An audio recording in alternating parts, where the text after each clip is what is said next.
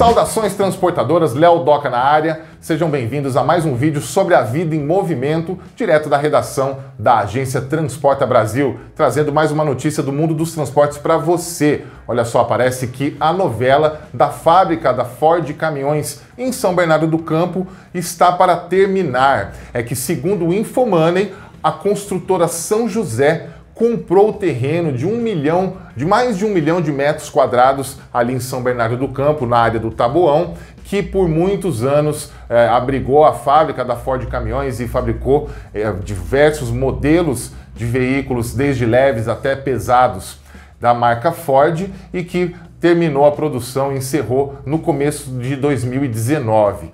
Pois é, a São José comprou essa área de um milhão de metros quadrados pelo valor de 550 milhões de reais. Para você ter uma ideia, é menos do que custa um Boeing 737, que é o avião operado principalmente pela Gol Linhas Aéreas. E também é menos do que a própria Ford investiu na sua fábrica em Taubaté, por exemplo, que investiu uma soma de 700 milhões de reais recentemente.